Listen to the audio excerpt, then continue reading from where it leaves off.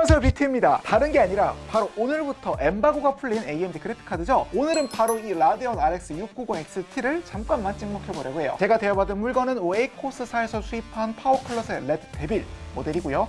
어 이름답게 크기부터 무시무시하죠? 슬롯을 3개나 잡아먹을 만큼 두께도 상당한 데다. 여기 보이는 파워 커넥터의 경우에는 8핀짜리를 무려 3개나 먹습니다. 이따 말하겠지만 이 친구 전기세 측면에선 정말로 Devil이란 이름값을 하더라고요. 여튼 디자인 역시 어, Devil답게 굉장히 강력하고 사악해 보이려고 노력하고 있어요. 플라스틱과 금색이 뒤섞인 전면 하우징 부분과 금속 재질의 backplate 그리고 bracket까지도 전부 다 블랙 계열인데 말 나온 김에 포트 잠깐 설명하자면 HDMI 포트가 하나가 있고 DP 포트가 3개로 구성되어 있네요. 여튼 이 디자인적 측면에서 유일한 포인트를 할 수 있는 게 정면에 이 붉은 로고랑 요 RGB LED입니다. 이 LED 기본 세팅 컬러가 상당히 제 개인적인 기준으로는 굉장히 끔찍한 편인데 일단 이건 테스트용 본체 결합해서 보여드리도록 할게요 어? 이건 또 처음 보는 장비라고요. 아, 이것도 자랑, 아니 설명을 안 할 수가 없네요. 이거 공개하는 게 또 처음이거든요. 허수아비 컴퓨터님의 도움을 받아 최대한 무난하게 구성한 세팅이고요. 현재로선 AMD 그래픽 카드를 리뷰하는 만큼 AMD 5800X 3D를 장착해놨습니다. 그리고 특이한 점이 이 파워인데 이 그래픽 카드 제조사에서 권장하는 최소 시스템 파워 수치가 무려 950W예요. 그래서 저 역시 1050W짜리 모듈러 파워를 준비가 아니라 마이크로닉스로부터 협찬받아 장착해줬습니다. 관계자분께 다시금 감사드립니다. 어쨌든 선정리도 정말 완벽하게 끝났으니 이제는 그래픽 카드에 전원핀을 꽂고 전원을 넣어볼까요? 자, 바로 부팅해 볼게요. 어...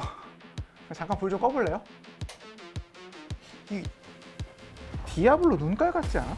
네, 정말 찐 붉은색 RGB로 세팅된 기본 세팅 값이 매혹적이고 또 무섭기는 한데 아무래도 이 취향이 아니라면 동봉된 5V 3핀 RGB 케이블과 소프트웨어를 통해 색상을 바꿀 수도 있습니다.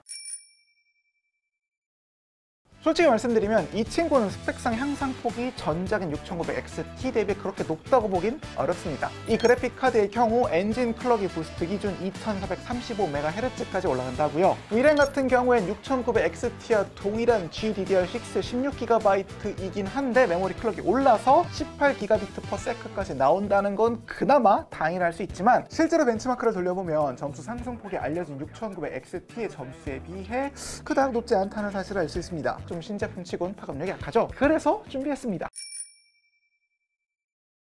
자, AMD가 최근 1에서 2년간에 걸쳐 선보였던 기술 중에 사람들 입에 꽤 오르내리는 게 두 가지가 있습니다. 하나는 스마트 액세스 메모리라는 거고 두 번째는 RSR이라는 건데 목적부터 말하면 둘 모두 프레임 값을 올리는 기술입니다. 그래픽 카드의 성능을 가장 확실하게 체감할 수 있는 것 중 하나가 게임 플레이를 할 때 초당 몇 장의 이미지를 처리하느냐 즉 프레임 값이 얼마나 되느냐는 거잖아요. 초당 처리할 수 있는 이미지가 떨어지면 사용자는 화면이 버벅거리고 또 끊긴다고 느껴지게 되니까 제조사들은 각자의 기술력을 이용해 프레임 값을 올리기 위해 많은 노력을 기울였어요. 일단 먼저 스마트 액세스 메모리부터 말하자면 기본 설명이 좀 어려우니까 비유부터 말씀드릴게요.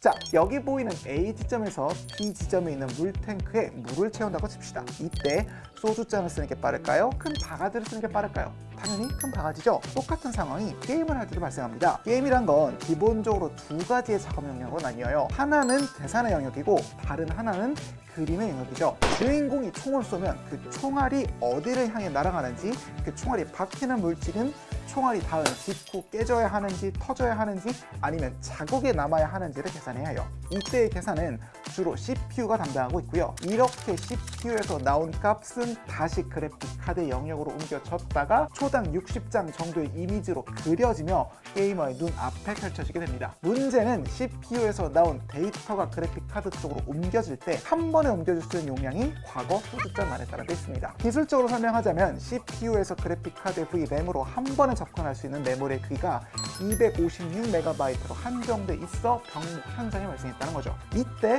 스마트 액세스 메모리라는 기능은 이 256MB라는 제한을 없애줍니다. 제한이 사라지니 더욱 빨리 데이터가 정리될 수 있고 이론상 그래픽 카드 내에서 그림이 더 빨리 그리고 더 많이 그려질 수 있는 겁니다. 초당 그려지는 그림의 숫자가 많아진다는 건 곧 프레임 수의 증가를 의미하는 거겠죠? 설명이 이렇습니다. 곧바로 실험부터 해봅시다. AMD 라데온 그래픽 카드 스마트 액세스 메모리 기능을 활성화하려면 같은 AMD 라이젠 CPU가 필요합니다. 참고로 인텔, 엔비디아도 정확히 같은 원리의 Resizable BAR라는 기능이 있긴 한데 여튼 오늘 준비된 건 AMD CPU와 AMD 그래픽 카드니까 곧바로 스마트 액세스 메모리 기능을 켜고 게임을 돌려봅시다.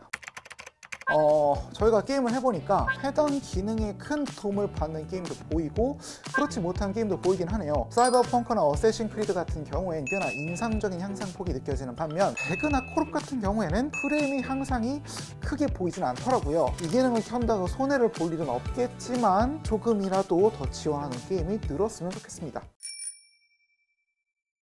자, 두 번째는 RSR이에요. 이게 뭐냐면 아까 게임이 계산과 그림의 영역이라고 했었죠. 이때 그래픽 카드가 조금 더 그림을 쉽게 그릴 수 있도록 일종의 트릭을 쓰는 걸 RSR이라고 합니다. 컴퓨터가 그리는 그림이란 게 사실 픽셀 하나하나마다 색깔을 지정하는 과정이거든요. 그런데 최근에는 4K다, 뭐다 하면서 고해상도 디스플레이가 일반화됐어요. 문제는 이렇게 해상도가 늘어나면 컴퓨터가 칠해야 하는 픽셀의 개수가 200만 개에서 800여만 개까지 4배나 증가하게 됩니다. 계산할 게 많아지고 채워야 할 픽셀이 많아지니까 한 번에 그려낼 수 있는 장수가 떨어질 수밖에 없어요. 그래서 일단 그림을 그릴 땐 해상도를 낮춘 상태에서 즉 큰 픽셀의 대강 그림을 그리고 이걸 출력해서 내보낼 때에는 다시 픽셀을 쪼갠 뒤 가장자리 부분은 알고리즘을 이용해 적당한 색을 기계적으로 쳐내는 방식이 생겨나게 됐어요. 이걸 RSR이라고 하는데 직접 볼까요? 이게 RSR을 돌리지 않은 기본 4K 화면이고 이건 4K보다 해상도는 한 단계 낮지만 RSR을 켠 화면이며 이건 앞과 같은 해상도의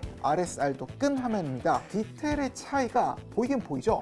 실제 4K보다 못하긴 하지만 그래도 봐줄 만한 결과물이 보이는 것 같으면 서도 아무래도 화면 전체가 조금 뿌옇게 보인다는 느낌은 지우기가 어렵습니다. 또한 이 RSR 기능의 경우 앞선 스마트 액세스 메모리에 비하면 프레임 향상의 폭이 상당히 높은 편으로 컴퓨터 성능이 미치지는 못하지만 주로 고해상도 환경에서 그럴듯한 결과물을 원하는 이들에겐 나름 나쁘지 않은 만족감을 줄 것으로 보입니다. 다만 여기서 주의할 게 이전에 AMD에서 비슷한 원리의 FSR이라는 기능을 내놓은 적이 있어요. 문제는 이 FSR과 RSR을 한꺼번에 켤 경우 작업량이 두 배가 돼 이미지 품질이 오히려 떨어진다는 경고가 홈페이지 기재돼 있더라고요. 반드시 하나만 켜두니까 좋겠죠. 참고로 경쟁 사연을 이해하는 약간 다른 DLSS라는 기능이 있긴 한데 이건 기회가 되면 한 번 더 이야기를 나눠보도록 하겠습니다.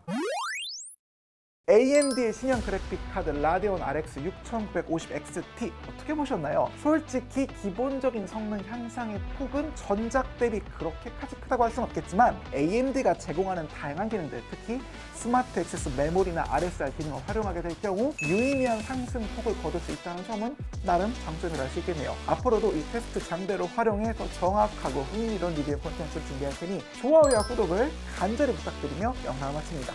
끝! 구독은 무료잖아요. 얘는 유료입니다.